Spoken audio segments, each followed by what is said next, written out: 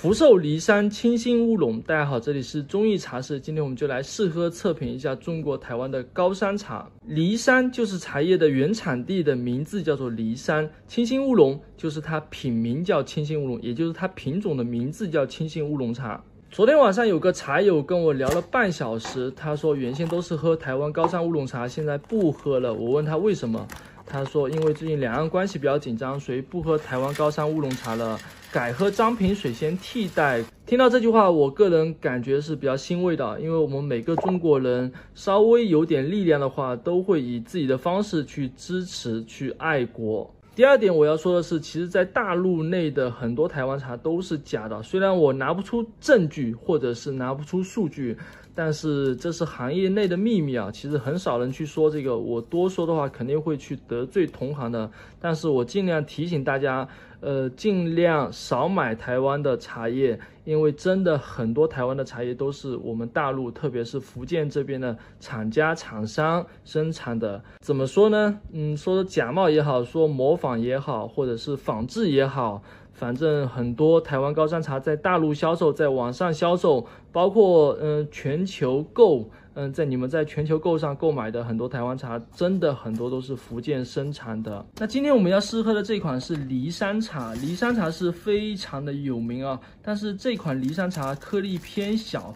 我不知道颗粒偏小的属于品质好还是品质差，反正我从朋友那边，呃抠来的吧。因为这种茶，说实话价位非常的贵啊，自己叫我花钱去买，我是非常不舍得的。这款梨山茶它带梗偏少一点，不知道什么原因啊。以前我接触到台湾茶，大部分台湾茶都是带梗偏多的。投量的话，差不多是六克左右，应该就够了吧。反正五六克自己喝也无所谓。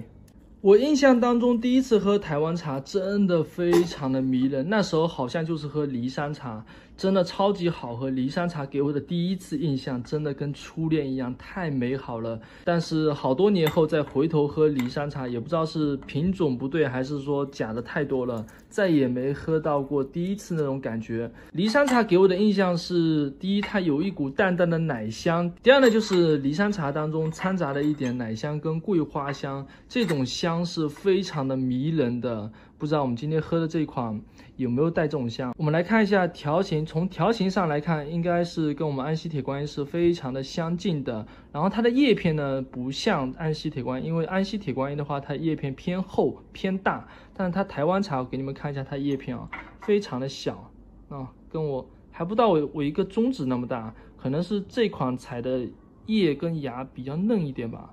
呃，还是说它品质偏好一点？这么小的叶片，如果像我们安溪铁观音的话，它叶片起码有这么大，这么大一片。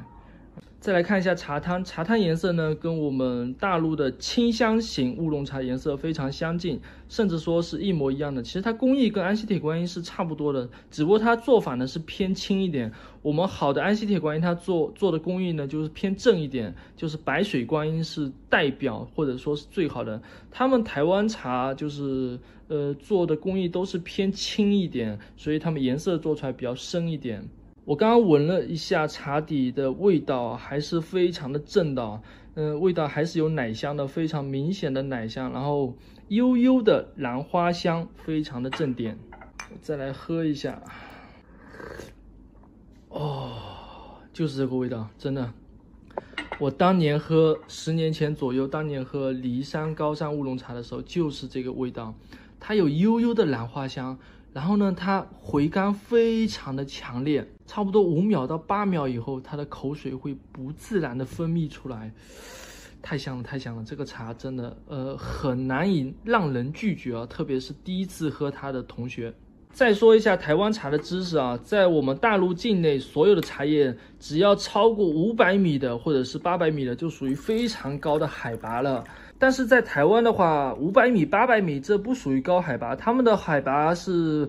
一千米以上才属于高海拔，或者说他们大部分的好茶都是出自于什么八百米以上，这个在我们大陆产区茶叶产区很难以想象的。我们的八百米就已经非常高了，他们的八百米是非常正常的啊。所以他们高山出好茶，可能也也愿也因为他们海拔高，所以他们采摘成本高，人工成本高，或者是他们茶叶的质量茶青的质量会更好一点，可能也有这种说法吧，导致他们的呃销售的价格或者是他们的成本会偏高很多啊。